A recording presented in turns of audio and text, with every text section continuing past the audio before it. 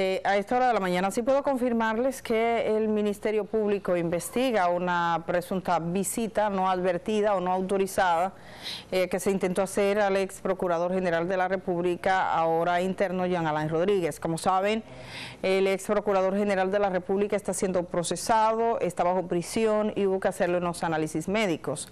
Hasta allí llegó una mujer que inicialmente no se identificó, algunos le han identificado como una funcionaria de la Escuela del Ministerio Público, específicamente su directora. No obstante, eh, lo que sí hemos podido eh, confirmar y les puedo decir es que hay una investigación abierta eh, por parte del Ministerio Público para determinar qué fue exactamente lo que pasó. Algunos de los agentes de seguridad que estaban custodiando al ex procurador requirieron que se identificara. Debo decir que esta es una unidad élite de eh, la... De, toda la institución, el nuevo modelo penitenciario, es la unidad para el traslado de internos de alto riesgo, y se ve, parecen de élite, efectivamente. Y hay incluso eh, unidades que supervisan lo que pasa, todo lo que sucede debe ser reportado, y fue en esas circunstancias que se produjo el incidente que ustedes van a ver ahora.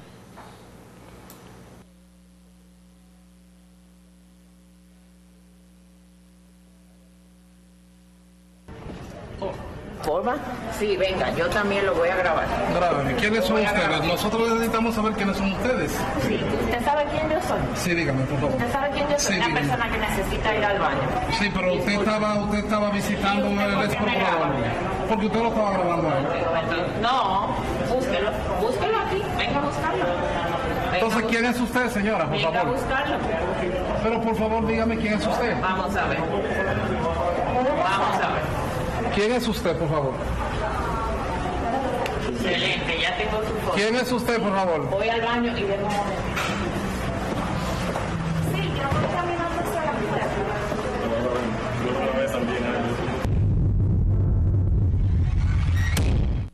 La periodista Altagracia Salazar dio a conocer este video eh, hace dos días y posteriormente recibió la información por parte de las personas que lo vieron, que porque inicialmente ni los, ni los eh, miembros del personal de seguridad sabían exactamente de quién se trataba, pero ha sido identificada como la directora de la Escuela del Ministerio Público. Hay una investigación en este momento. Eh, también hay un dato relevante y que habría que determinar las circunstancias de qué se adujo cuando eh, se hubo ese acercamiento al área donde se encontraba el ex procurador general de la República. Según los datos que tengo, ella nunca llegó a estar, eh, digamos, en el mismo espacio, eh, aunque se procuró pasar, no, eso no ocurrió. Lo que sí preocupó y parece preocupar es el hecho de que se intimide a los agentes con usted no sabe quién soy yo, su fotografía queda registrada, lo estoy grabando. Entonces los agentes al mismo tiempo estaban eh, grabando.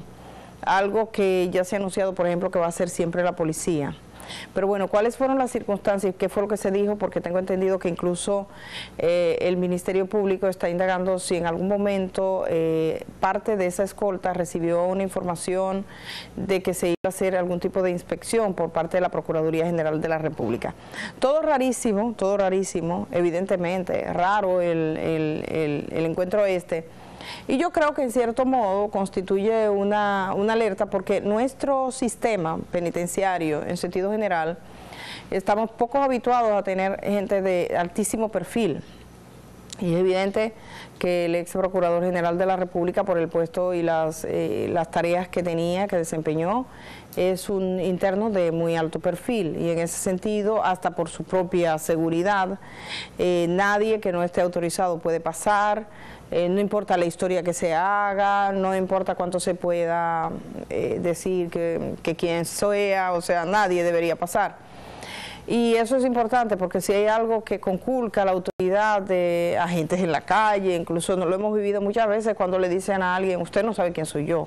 Entonces la gente se puede intimidar. Y para que la gente no se intimide, aquellos que tienen a cargo la custodia y seguridad de todas estas personas que están entrando por estos días, al sistema eh, poco habituado a tener gente de alto perfil, porque nosotros tenemos eh, lo más alto perfil que teníamos aquí era los, la gente acusada de narcotráfico, pero digamos que del sistema político, exfuncionarios, este país eh, está poco habituado porque no habían casi casos como ese caso y este es un país, como casi todas las cárceles nuestras en América Latina, llena de gente, ciudadanos comunes, por diferentes tipos de delitos, pero el delito eh, de corrupción pública, ustedes saben que eso aquí brilló por su ausencia. De modo que es importante. Vamos a estar pendientes, si le puedo confirmar que hay una investigación en ese sentido. Los datos, eh, digamos que iniciales, son muy pocos. Eh, sí quedó para la constancia este video y como les digo, vi inicialmente a Altagracia difundirlo y y comentar sobre el mismo por la identificación que la gente de inmediato hizo. Pero eh, posteriormente sí pude obtener la información de que hay al menos yo diría que dos investigaciones, porque el sistema también penitenciario abre la propia en torno a cómo fue que se operó, qué fue lo que se hizo, qué pasó con los agentes, todos tienen que dar su testimonio, lo mismo que la Procuraduría General de la República, su inspectoría, que realiza una indagatoria en ese sentido estaremos pendientes a ver qué fue lo que ocurrió exactamente y digamos que esto podría ser más que nada una alerta para los días por venir. Vamos a la pausa y regresamos de una vez.